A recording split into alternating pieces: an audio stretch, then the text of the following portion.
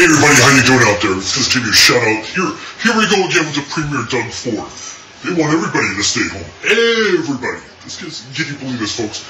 This is getting ridiculous. This is only the, uh, what, second uh, year? And now we're getting the stay-at-home order. I'll, I'll, mention it in the subtitle of my video, of my uh, YouTube channel.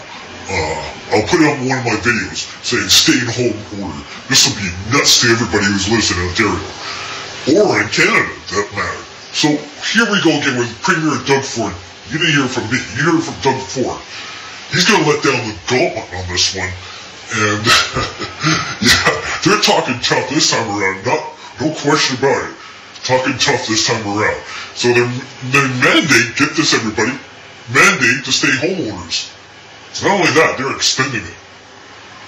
So they're telling everybody, I don't know about the business people, everybody to stay home. Everybody. That's right, folks. I'll put them in the title, Stay Home Orders, Premier Doug Ford. How about that, folks? Yep, he's really extending this, folks. Two weeks. You heard it on news clips. Two weeks. I didn't say it. Uh, Premier Doug Ford said it. Two weeks, stay home orders. Okay, folks? You didn't hear from me. You heard it from Doug Ford, Premier Doug Ford of Ontario. That's canon. So there you go. We are going to do that and put in the subtitles for you guys to understand that.